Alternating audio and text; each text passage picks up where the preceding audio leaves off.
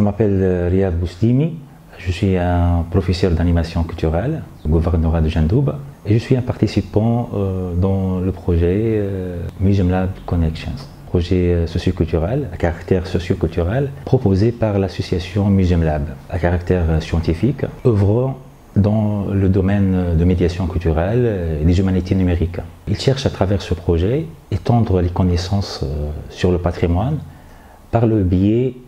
d'expériences euh, en réalité augmentée ou bien personnalisables et communautaires. Bien sûr, euh, le projet euh, s'étend sur des mois, parce que nous avons s'étend de, pour le groupe de Doug. Moi, je, représente, je, représente, le groupe de Doug, le groupe de travail de Doug. nous avons débuté le parcours de formation depuis le mois d'avril-mai entre avril et mai, jusqu'à le, hackathon qui est euh, dans la première moitié du mois de décembre. Bien sûr, le, projet euh, concernant Dog, c'est euh, l'association nous a conduit à la conception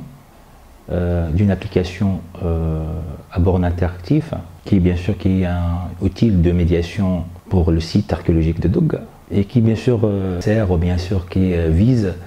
à rendre le, patrimoine ou bien les monuments de, de Doga plus accessibles au public. Bien sûr, les, recherches scientifiques avéraient que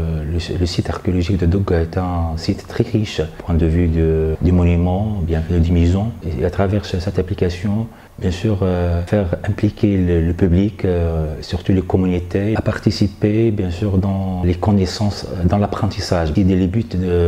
les objectifs de ce projet, c'est considérer les, les, musées comme un environnement d'apprentissage et de partage entre les médiateurs, bien sûr, bien les, participants de projets, les communautés, bien environnantes, et aussi les, les institutions se passe le, projet, ou bien où se trouve